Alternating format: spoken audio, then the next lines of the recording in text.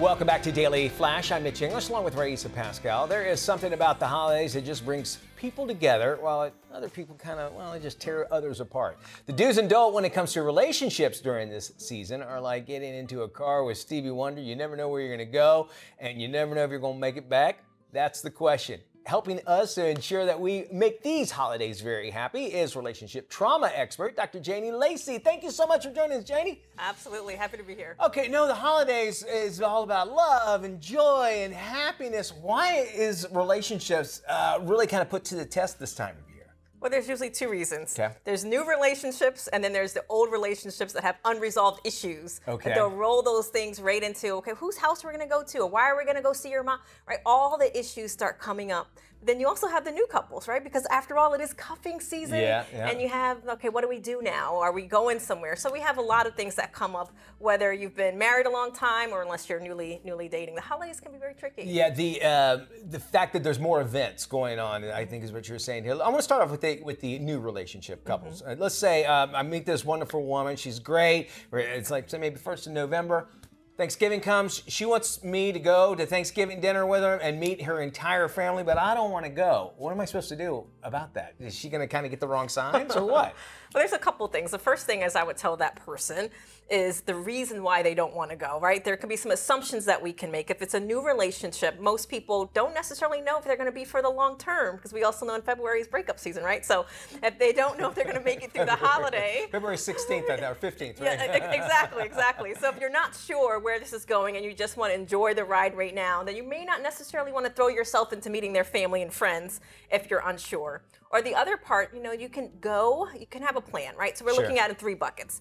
You can have that conversation, the most important thing that there's upfront, transparent, mature conversations that I enjoy my time with you, I'm really liking getting to know you, but I just want to focus on us right now before we start meeting each other's family and friends, right? It's an honest conversation, or don't make it a big deal. If you really don't want to go, you have your own plans. You can maybe stop by, have a time limit, so this way you are appeasing yeah, to her. sense, yeah. But then you can also go to the other place. Or the third option is you can have your own plans.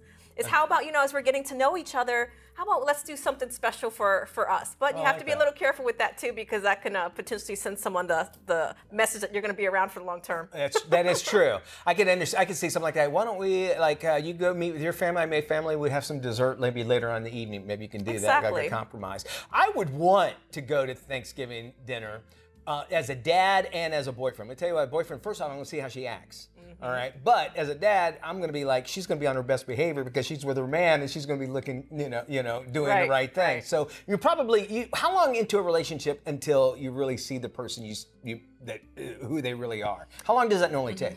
For a new relationship, on average, it's four to six months. Okay. Because someone can put their best foot forward for those couple of months, but then you're going to start getting into the more time you spend with each other. You're going to have conflicts, you're going to Yeah. have disagreements. So the real personality we can see normally is around four to six months, which is also why people either make it past the four to six month period or they don't early in dating. All right, uh, we have a family uh, gathering. Um, how do you deal with just like, man, I hate Uncle Tim. Your Uncle Tim, he's just obnoxious. I don't want to be around the guy. How do I deal with that when there's a family member that you know you're going to see that you're going to have to spend an extended amount of time with? Now, usually what I would say is it depends on the family member and the relationship with them.